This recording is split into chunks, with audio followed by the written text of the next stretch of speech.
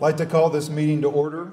Um, so, uh, no, I want to welcome you to First United Methodist Church Midlothian. I'm Pastor Brady Johnston, and uh, and excited to celebrate this fourth week of the season of Advent together with you as we get ready for this week and all that this week means for us. We have, of course, coming up um, Christmas Eve, and then.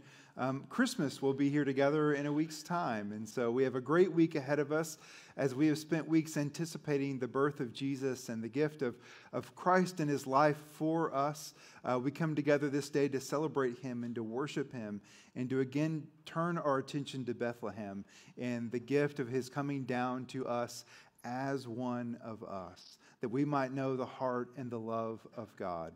Um, and so I thank you for being here. If you're visiting with us online or in person, we're so glad you're here. And if you're a first time guest, we're so thankful you chose to spend this sacred season with us. And so we look forward to sharing in this time together. Uh, with that, I'm going to invite the Pattersons to come up and to read uh, for our Advent reading and to light our candle.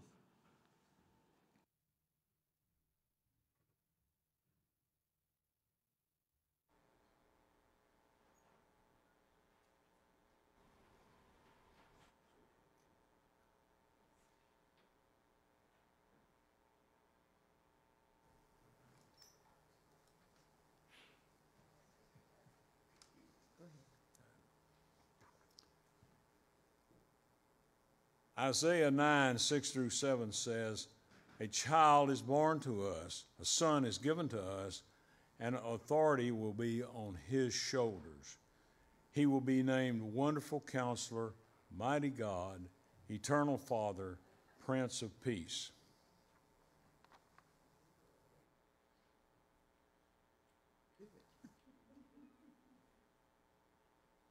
This candle as a symbol of the Prince of Peace.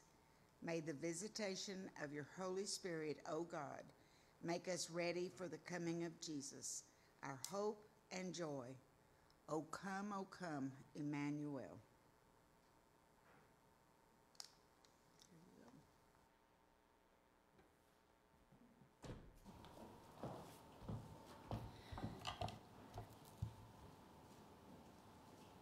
Now, will you please stand with us as we sing our first hymn of the day, O Come, All Ye Faithful.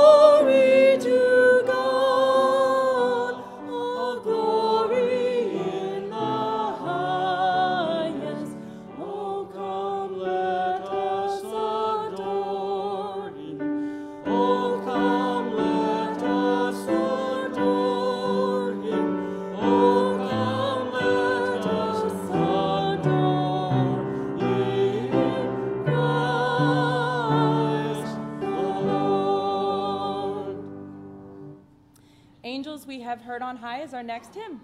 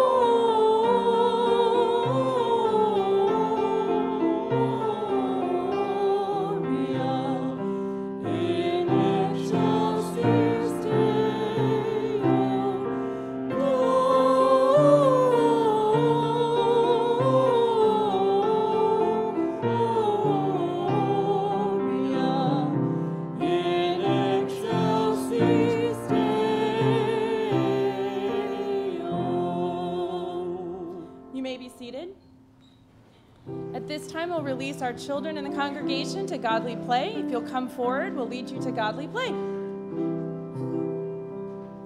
There's Miss Hayden.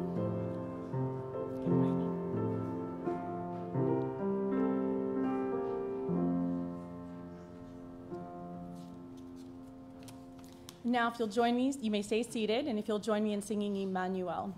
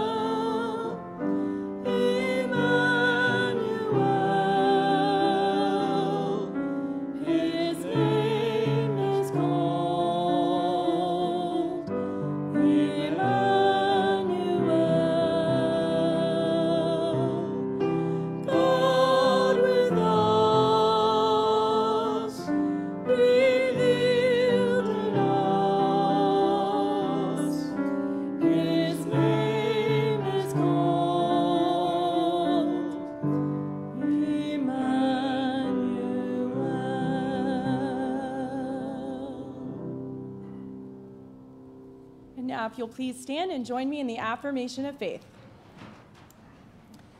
I believe in God the Father Almighty, maker of heaven and earth, and in Jesus Christ, his only Son, our Lord, who was conceived by the Holy Spirit, born of the Virgin Mary, suffered under Pontius Pilate, was crucified, dead, and buried. The third day he rose from the dead. He ascended into heaven and sitteth at the right hand of God the Father Almighty. From thence he shall come to judge the quick and the dead. I believe in the Holy Spirit, the holy Catholic Church, the communion of saints, the forgiveness of sins, the resurrection of the body, and the life everlasting. Amen.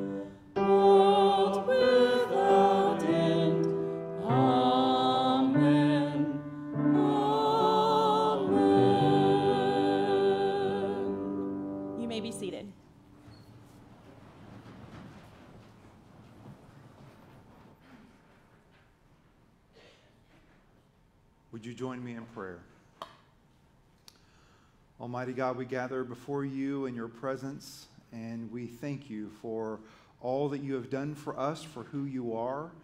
We thank you for your heart, which continues to pour out love for us and for your creation. We are grateful for your heart and your plans for redemption that lead us here to the foot of the cross in anticipation of not only this Jesus who has come to us long ago, but who will come again to us to restore this world, to heal the broken world, and to bring it back under, un, under your great rule.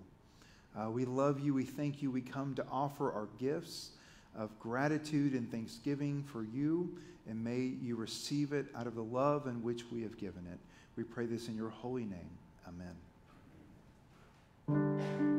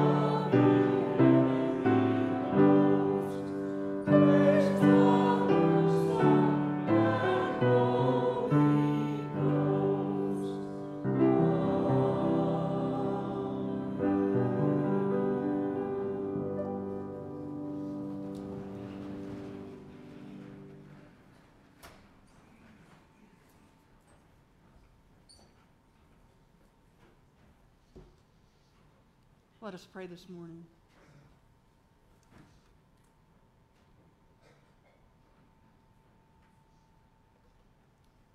Sing joyfully to the Lord, you righteous. It is fitting for the upright to praise him. Praise the Lord with the harp, make music to him on the ten string lyre. Sing to him a new song. Play skillfully and shout for joy. The word of the Lord is right and true. He is faithful in all that he does. The Lord loves righteousness and justice. The earth is full of his unfailing love. And by the word of the Lord, the heavens were made, their starry hosts by the breath of his mouth. He gathers the waters of the seas into jars. He puts the deep into storehouses. Let all the earth fear the Lord. Let all the people of the world revere him. For he spoke, and it came to be. He commanded, and it stood firm. The Lord foiled, foils the plans of the nations, he thwarts the purposes of the people. The plans of the Lord stand firm forever, the purposes of his heart through all generations. Blessed is the nation whose God is the Lord, the people he chose for his inheritance. From heaven, the Lord looks down and sees all mankind. From his dwelling place, he watches all who live on earth. He who forms the hearts of all, who considers everything they do. No king is saved by the size of his army. No warrior escapes by his great strength. A horse's a horse in a vain hope for deliverance, despite all of its great strength, it cannot save. The eyes of the Lord are on those who fear him, on those whose hope is in the unfailing love. Deliver them from death and keep them alive in famine. We wait and hope for the Lord. He is our help and our shield. In him our hearts rejoice, for we trust in his holy name. May your unfailing love be with us, Lord, even as we put our hope in you.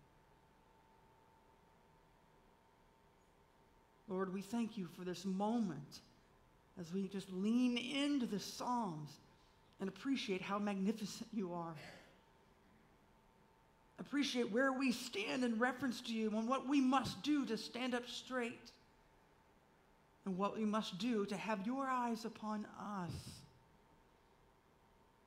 And oh, how our lives would need a change. And our hearts need to be opened up just that much more. For He is the God that gives us all opportunity to follow, to be, to rejoice in Him. And all we need do is say yes.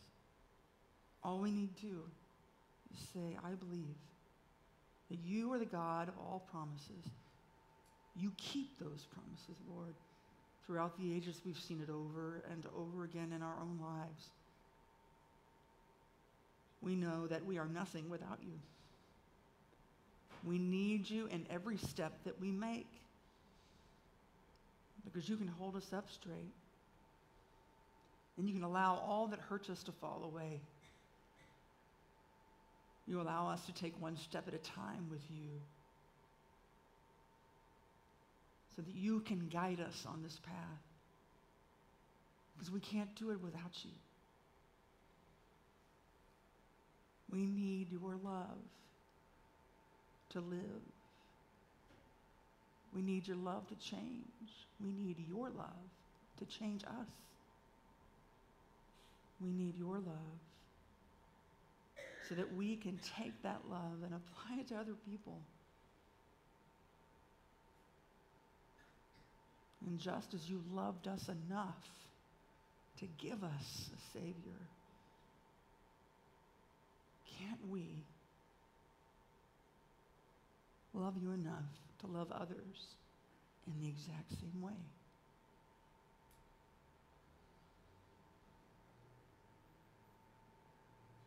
And as we are being guided, we know that we will never follow that path perfectly. We know we can't step in the exact footsteps of your Son. But we also know that we have a prayer that Jesus has used with his first of disciples and continues to open us up when we say it so that we can be reminded of the most important things we need to know as disciples. And let us say it this morning Our Father, who art in heaven, hallowed be thy name. Thy kingdom come, thy will be done, on earth as it is in heaven. Give us this day our daily bread and forgive us our trespasses as we forgive those who trespass against us. And lead us not into temptation, but deliver us from evil. For thine is the kingdom and the power and glory forever. Amen.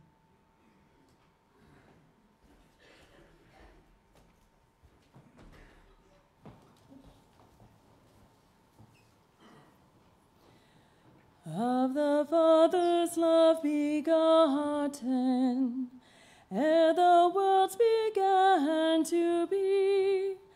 He is Alpha and Omega, He the source, the ending, He of the things that are, that have been, and that future you shall see, evermore and evermore. O ye heights of heaven, adore him. Angel host his praises sing. Past dominions bow before him and extol our God and King. Let no tongue on earth be silent. Every voice in concert sing, evermore and evermore. Amen.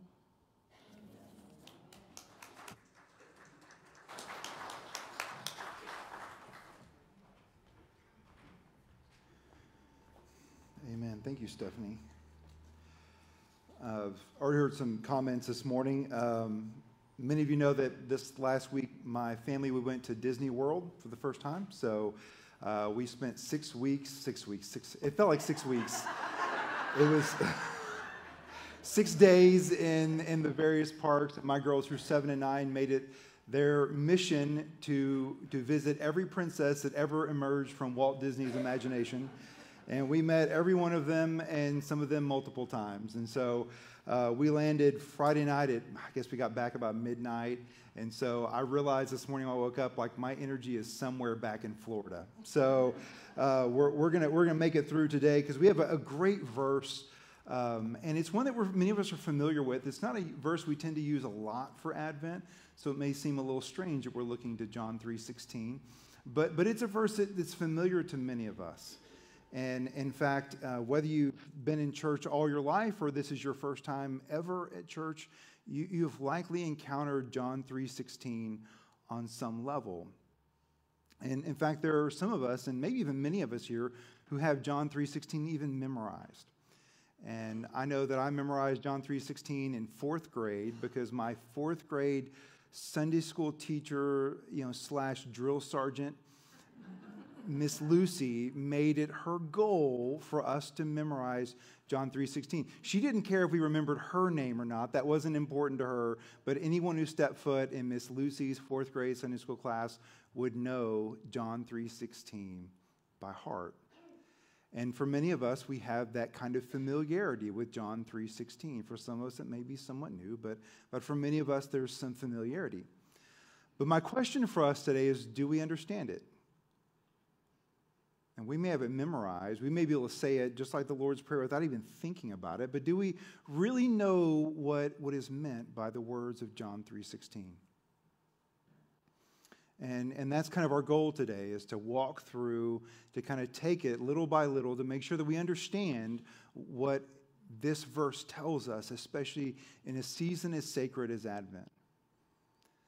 Uh, and the first thing I want you to do in understanding this verse is if you have your Bible with you, open to John 3.16. Um, and if you use your phone as your Bible, the Lord still loves you.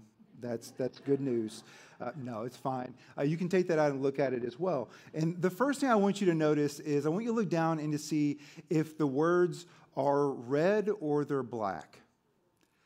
So, so for many of us, we have in our Bibles the, the words of Jesus are highlighted in red, uh, where the words of the authors of the books themselves are contained or black. And so I want you to look down. Do you see those words in red or black? Red. Okay. So many of them, yeah, many versions have these words in red, and those versions are wrong. Uh, no, I'm just te- it's teasing. Um, Well, I mean, maybe they are. If you actually look at the words themselves and you actually look at the verses 16 kind of following through the rest of this, this part, portion of the chapter, you see that they're very distinct from the conversation that Jesus has with Nicodemus. And so, really, the common thinking today is that this isn't Jesus' words. These aren't words that come out of the mouth of Jesus, but rather they're words reflecting on Jesus' ministry and his mission.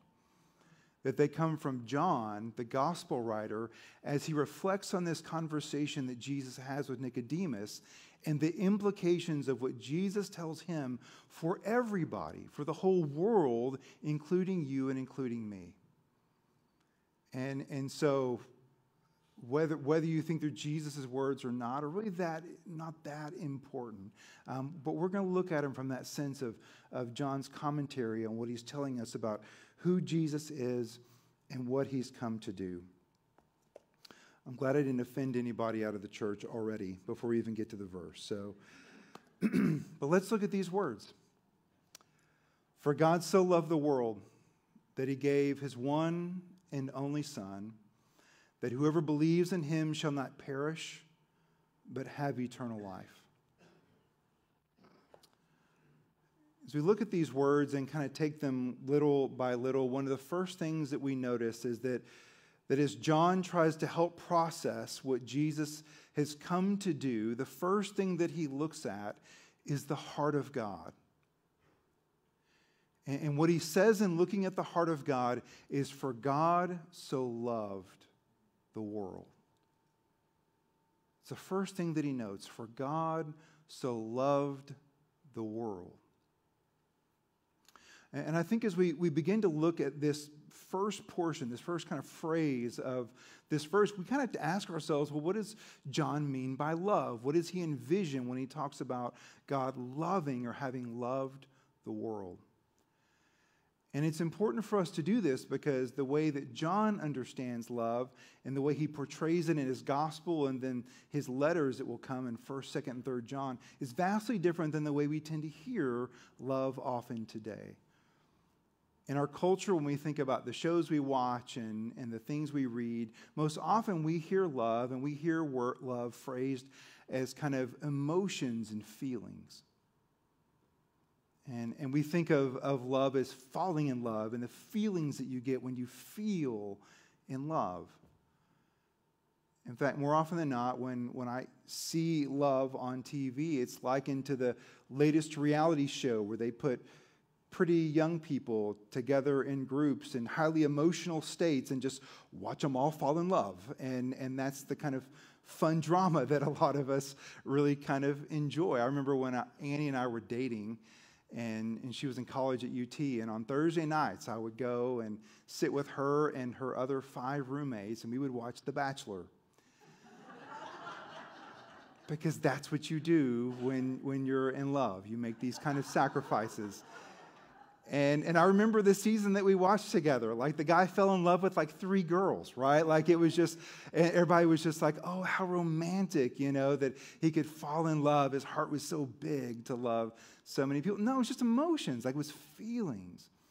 And when John says, for God so loved the world, he's not talking about that kind of emotions and that kind of feelings. In fact, John uses the word agape to describe the, the love of God for the world. And agape is not emotions, it's not feelings. Although desire can be encompassed in agape love, agape love, in a sense, is about choice. That agape love is about the will, it is about someone choosing to give value and to love another. And, the beautiful part about agape love and what makes it, it unconditional and I think so powerful is that it's not based on the recipient of love earning it. It's not based on, on the one who is being loved being lovely. It is based purely on the one who chooses to love, still choosing to love. That's agape love. And now I realize for you romantics out there, you're thinking, man, you just, you know, pop my balloon. Like that, that doesn't sound romantic at all. Love is just a choice. But there's something beautiful about that because what that means is that it, it actually is based on something that has enough substance to support a real relationship. Like if you've been around long enough to know and experience that, that look, emotions and feelings are not stable enough to build a real, true, lasting relationship upon. Emotions and feelings, man, those things come and go.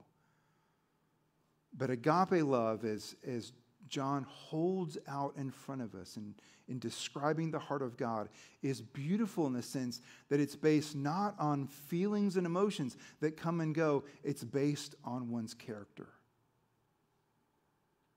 And what John says to us is that the love of God for you and for me and for all the world is based on his unending, unchanging character.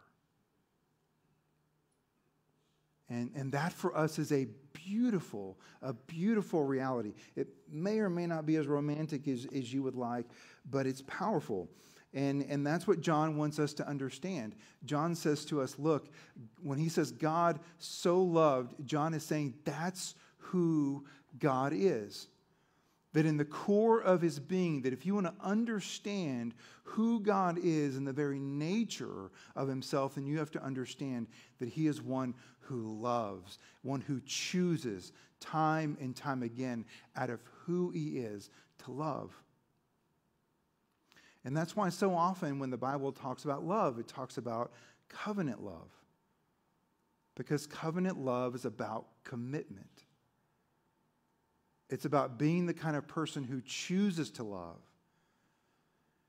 And, and what this tells us is, is, it tells us far more about who God is than it does about us because covenant love is about loving somebody even sometimes in spite of themselves. And for those of you that are married, and we, we use this same kind of covenant love imagery in marriage, because you know if you're actually going to be married to somebody, you're going to have to at some point love them in spite of them. That's just the nature of relationship, right? Like if you can't, then your marriage isn't going to last. If it's just, ba- I got an amen out of that. Well, my goodness, whew, y'all are, the Holy Spirit's moving today. All right, we're getting this. Like, yeah, like you're, you're someone's gonna be in trouble for that one, but that's all right. It, but really, like, like love has to be built on something more than just the emotions and the feeling. And that's why the Bible talks about God's love as agape love, is a covenant love, because He is the kind of one who chooses to love in spite of you and me. And the beautiful thing about that is that means that we can trust the love of God for us. And there's some of us out there who need to hear that today. Because you're saying, well, that's great that God loves the world, but what about me? Like, don't you know me and don't you know what I've done? If God knows those things like the Bible says he does, there's no way that he loves me.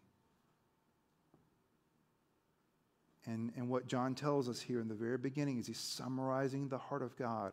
He says, God is the kind of God who chooses love. And that tells us something about him that he chooses love, that it doesn't even matter whether or not you are lovely or, or, lovable. He is the God who chooses to love, who is committed to choosing to love. That is his heart, that is his nature, and it's not changing. And the beautiful thing about this is that this love is not just for, for some, it's a love that's universal. To use Jesus' words about the love of God in Matthew chapter 5, verse 48, God's love is complete in that it's shared to all of creation, to everything that God has made. For God so loved the world. And as John continues to help us understand Jesus' mission and ministry, he, he moves on to the next phrase. And what he does in this is he, he builds on the understanding of agape love by showing us what this kind of love does. He says that he gave his one and only Son. For God so loved the world that he gave his one and his only Son. You see, what agape love does is it is rooted in action. In fact, biblical love, you see this from the beginning through the end of Scripture, we see that love, as the Bible understands it, whether in Hebrew or Greek, it is based in action. That it's always concrete. It's not something that's abstract, like feelings and emotions that we can't ever quite, quite get a hold of. Like it's based on concrete action of moving toward the other. in ways that are seen and evidenced. And, and we see this here. He says that the, the, the tangible action of why you and I can know that God does indeed love the world, that He does indeed choose to love the world, was that He gave. The tangible action of giving. And, and not only did He give, but He gave something that was precious to Him. In fact, that which was most precious to Him in the gift of His Son. And, and part of what makes this season of Advent so beautiful for us is that we celebrate the tangible manifestation of God's love. And that Jesus, the Son of God, was born to us as one of us. That you and I would know the love and the redeeming power of God. And we talk about this every season of Advent of Jesus having been born to us. And uh, every Advent, I want to make it my mission to be able to articulate the, the mystery and the beauty of what it means that the Son of God laid aside all the benefits of his divinity and took upon himself human flesh.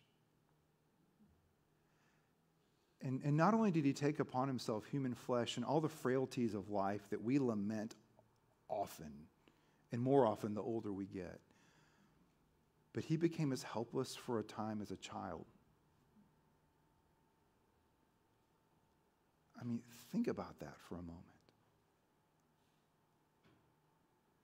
One thing tells us about agape love is that agape love is, is vulnerable, incredibly vulnerable because it's based on one who chooses to love in spite of the recipient of love, man, it puts you at a very vulnerable place. Yesterday, I was outside in my house and my girls were playing, and our neighbor came over and she had her first child about three months ago, a little girl, just absolutely beautiful.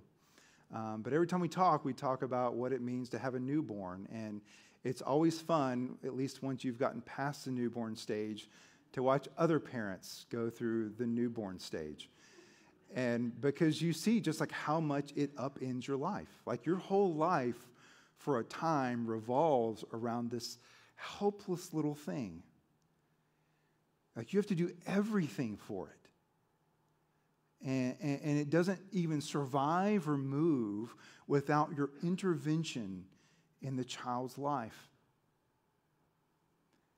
And just every Advent season, it baffles me that Jesus would set aside those things to become truly helpless and dependent upon the very creation and submit to the very created order that he put into being. And that's incredible to think. And the Apostle Paul in Philippians 2, he reflects upon the humility of Jesus, that he would come and submit to the very order of life that he put into existence, that he would become as helpless as a child. And it says that he, he submitted, that he, he took upon himself the form of a slave, of a servant, by being made in human likeness.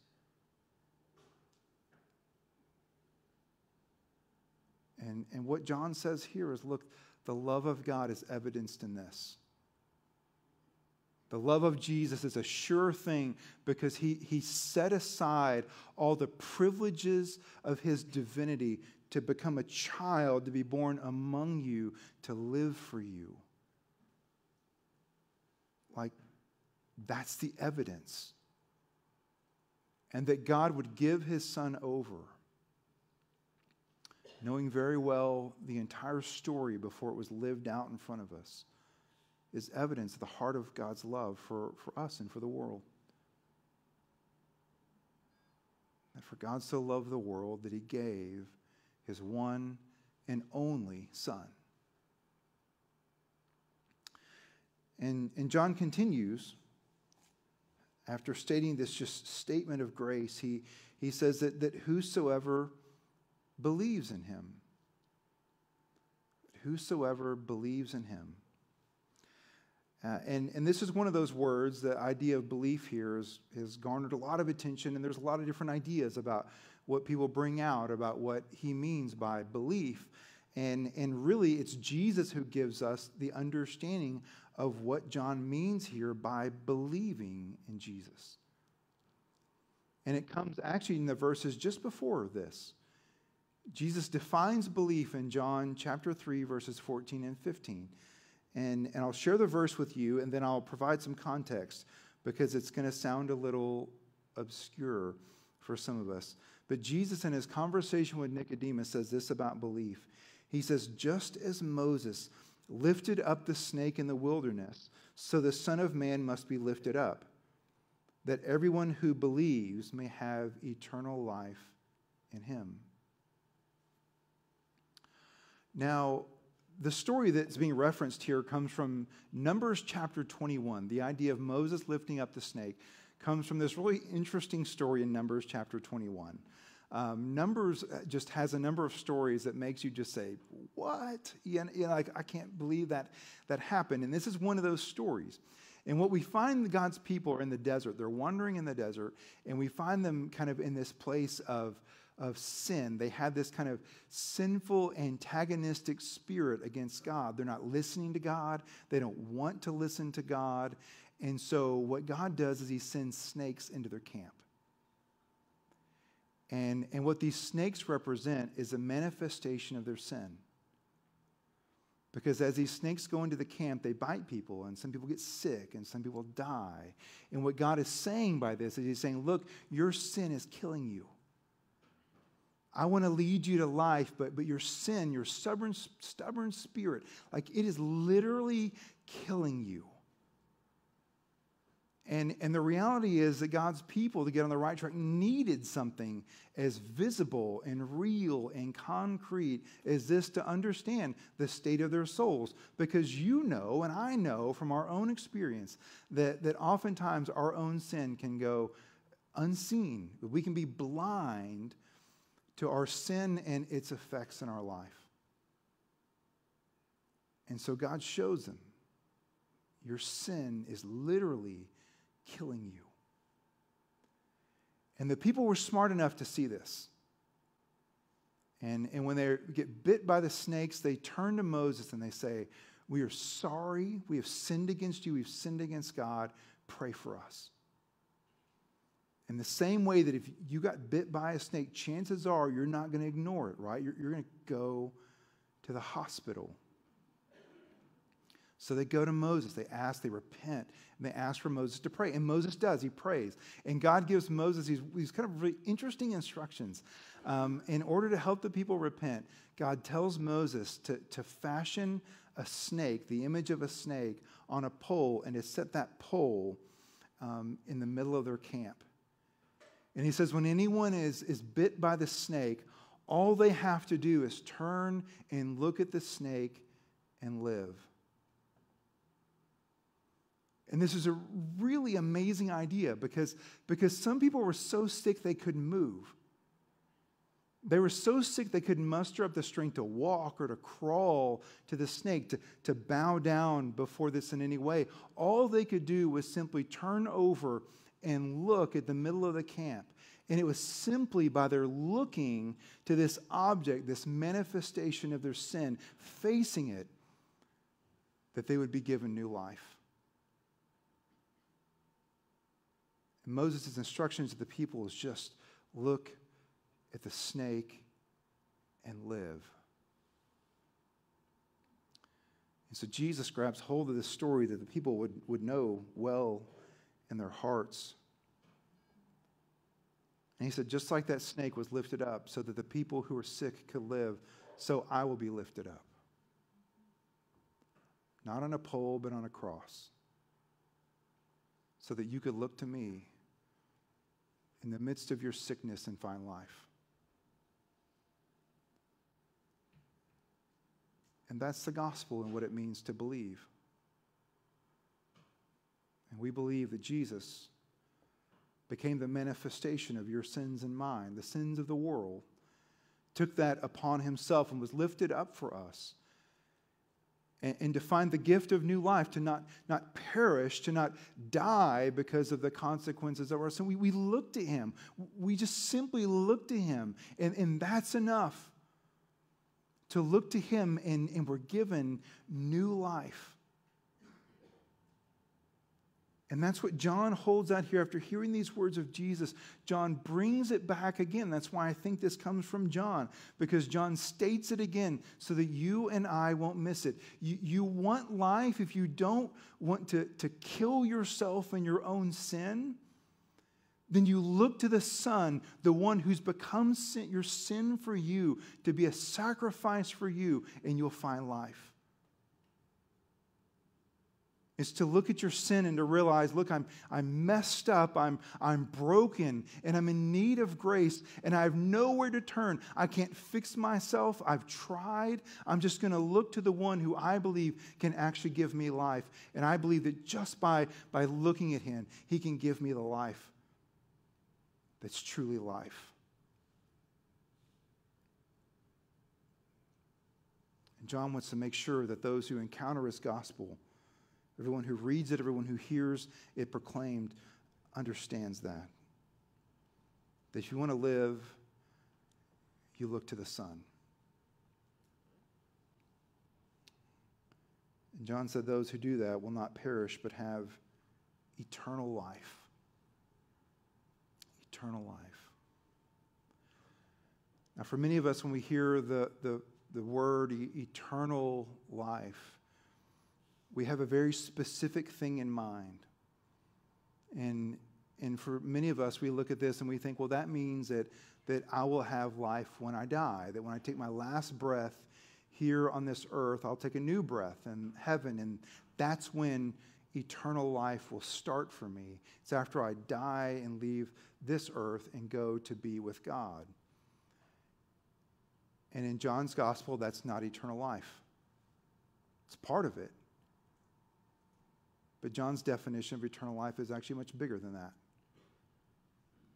And if we want to understand what John means, what Jesus means when he talks about eternal life here, then a lot of us are going to have to make some room in our minds for this definition that's probably been cemented in there to understand what Jesus means, what John means as well when they talk about eternal life. And we find a great definition for eternal life in John chapter 17, verse 3, and it comes from Jesus. That's why we know we can trust it. In John chapter 17, Jesus is about to go to the cross and he's praying. He prays for his disciples, for the 12. After he prays for them, he prays for you and me. He prays for all the believers. And then he finally prays to, the, to his Father. And in John chapter 17, verse 3, here's what Jesus says. He, he, he says um, that he has come to give eternal life to all those the Father has given him. And in verse 3, here's what he says Now, this is eternal life. He defines it. When he says, I've come to give eternal life to everyone that you, my Father, have given me, he says, I want to make sure they understand what eternal life is. And he says, This is eternal life. That they, meaning you and me, may know you, the one true God, and the one whom you sent. That they may know the one true God and the one whom he has sent in Jesus. And what this means for us and this definition that Jesus gives is that eternal life isn't something that just starts when you die, it's something that starts when you believe. That when you look to the Son, eh, you're given a new life that doesn't just start at some undetermined time in the future for you and me. It starts now. That it's a life that's given to us now to live into and enjoy. It is a life that is lived in the fullness of God's presence, starting here and now and Dallas Willard talks about the beauty of this life. And he says the beautiful thing about eternal life isn't that it starts when we die, it's that it starts now and that we never really die. We just keep living.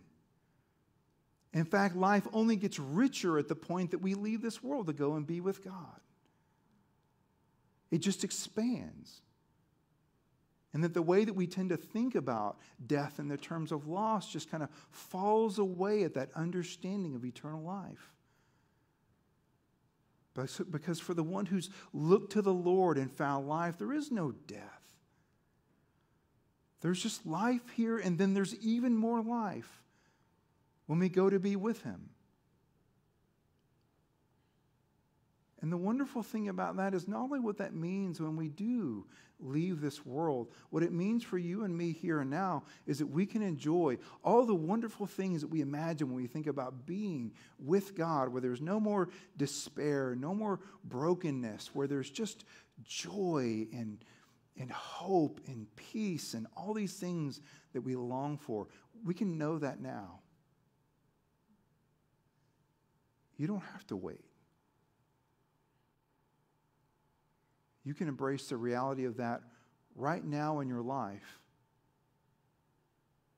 because you can choose to live in the kingdom of God and under the rule, the gracious rule of Jesus, right here and right now.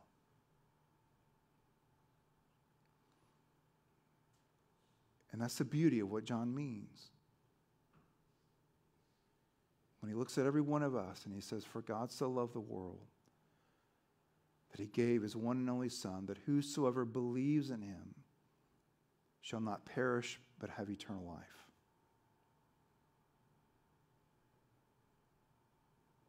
So, in the season of Advent,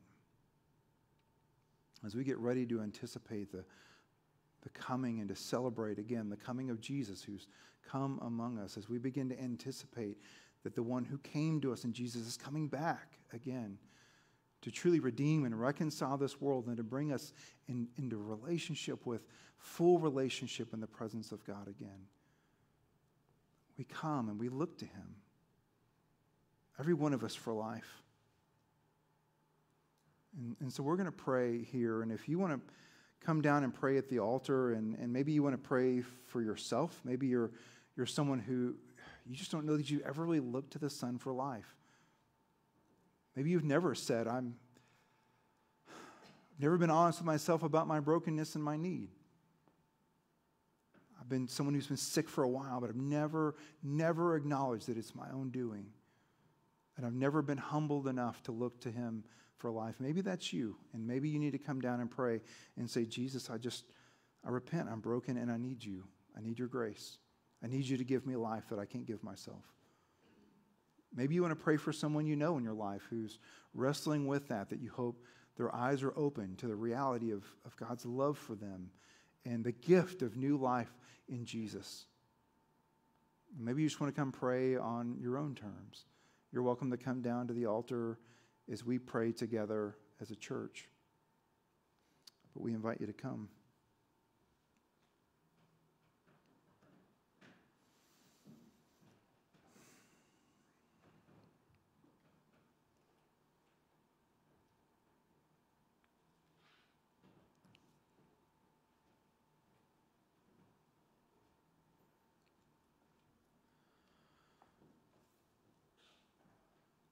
Father, we come before you in awe of your goodness, in awe that you're the kind of one who would choose to love us even when we are unlovable. And if we're honest with ourselves, God, we have often been unlovable. We often are quite unlovable. And oftentimes our spirit are just like the people in the desert, antagonistic, wanting our own way, not wanting you or your way. And, and, God, even though you, you knew the reality of what we would become, it was your heart that compelled you to make us anyways. And you created us and you've loved us and you've sought to perfect us and to make us whole, even in our brokenness. And you did that. Your love was manifested in that Jesus, your Son, came to be our sin for us, to be the sacrifice that we needed. That all we need to do is to understand the brokenness of our own souls and to look to Him that we might find true life. And how amazing it is that it isn't just a life that begins when, whenever we die, It's a life that can begin here and now. It's a life that's already begun for some of us here. And for those of us who are seeking to receive this gift for the first time, God, we thank you that all we have to do is look. That we don't have to earn, that we don't have to be good enough. All we have to do is look to you. And the true gift of life is given.